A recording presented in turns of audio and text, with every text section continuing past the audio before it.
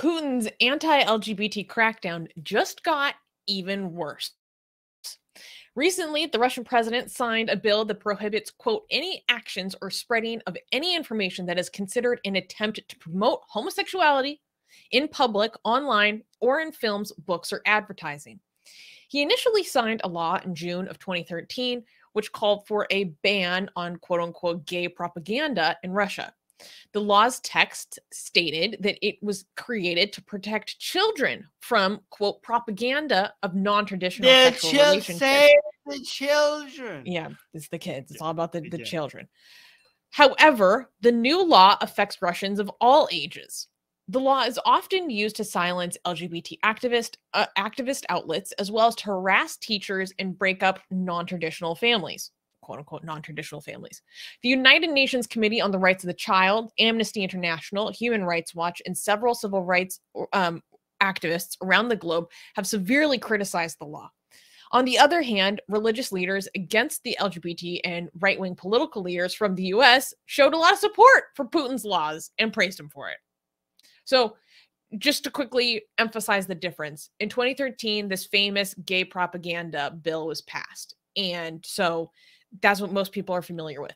And then what was just signed into law expands it even more. The previous law was just supposed to be, you know, about the children, quote unquote, in in theory. In practice, it was very persecutory in general. And then this is just expanding it to put it in law, way more totalistic and on the books a way bigger um uh restriction on free expression on many different ways. Yeah, by the way, this is part of his broader global fight against the forces of darkness in his mind, right? So for a lot of people don't understand that his fight in Ukraine and his war in Ukraine and this are part of the same battle in his mind uh, over, you know, conservative family values fighting over the degeneracy of liberalism that is taking all over the world, right?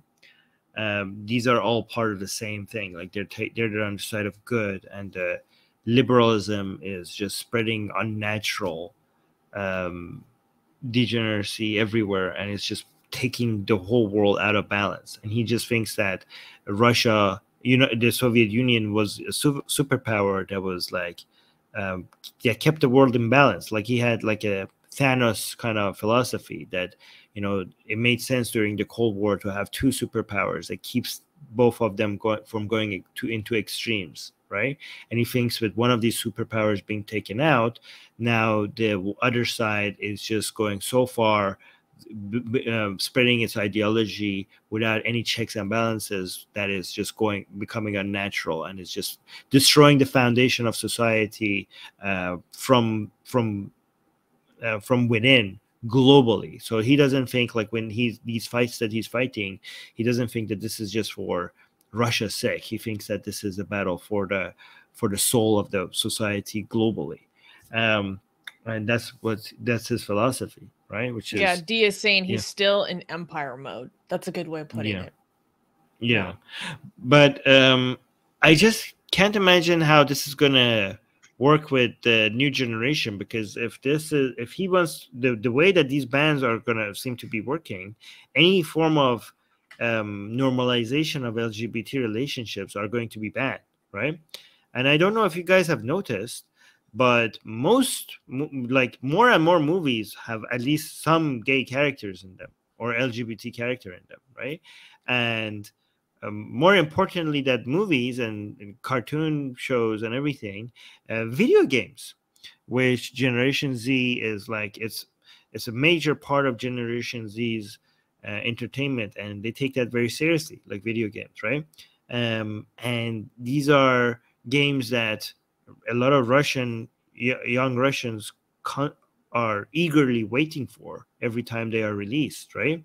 And having a single LGBT character in them will make them uh, banned in Russia, which a lot of most of them now have at least one LGBT character. And this is a really good way to turn the new generations against you, Putin. You know, there's this is a sure way to become very very unpopular among because they will they will try to figure out a way to go around it and they're going to see you as the person in the way of their video of their video games right? Mhm. and again no i'm not like dismissing video ga- video games are extreme sources of entertainment and pleasure for a lot of people right? And given how much you made life miserable for them outside of the in, you know outside video games this is a escape from reality that they might actually really need and now you're trying to take that away from them as well. So yeah i mean long term i just think this is going to i mean i understand russia currently um, is still majority pro putin and very conservative and anti lgbt I just Mhm. think longer term, all of this is going to turn. I mean, you should learn from Iran. When you try to force this upon your people, um, there's, you know, it, it, it might be, it actually might backfire, right? Um, the the more the more you isolate your people and the more you try to box them in into your own philosophy, the more they're likely that in long term they're going to lash out and go in the exact opposite direction. So this might actually be eventually the reason why i mean the soviet union's um, extreme uh, closed-minded isolation tactics made russia a lot more open than they were before. So maybe this is just another version of the same thing happening. And then what you know we'll see what happened to the soviet union. Maybe will will happen again to russia in the future. So Mm. we'll see. What do you think about how this well actually before i get into that i want to highlight something really quickly. Like i don't know if people understand the consequences of policies like this. So Mm. when the first version of this ban came into existence in 2013 the level of persecution against the gay community lgbt community in general became so severe so it was initially supposed to be things around essentially not giving any form of sex education that included any reference to LGBT or anything. Like any recognition to any media that this is a thing that exists. Any, and this includes like resources for children that are struggling, like how to find mental health support, like all things like this. And so you would might think that that's kind of the realm that it remained in. No. Like I watched this documentary, I think it was on Vice. I wish I could remember the name. But there were like squads that were formed of extremist like fascist men who would go around and entrap gay men, maybe through finding them on an app or maybe they just knew who they were throughout the community. And I literally cannot say on YouTube like what they would do to these men. And they were emboldened to do this by these policies and tacitly encouraged by it by this law in 2013. And like yeah, I can't talk about like the details of the torture that they would put these men through.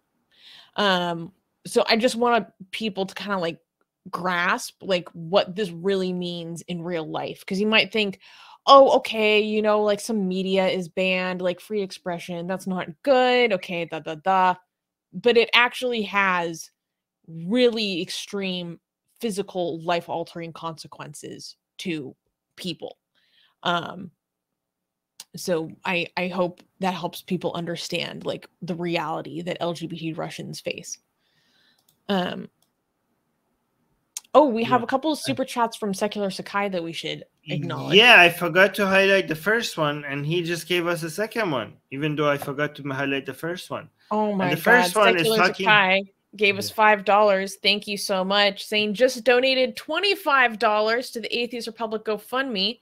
Small plug to remind people that that is still up.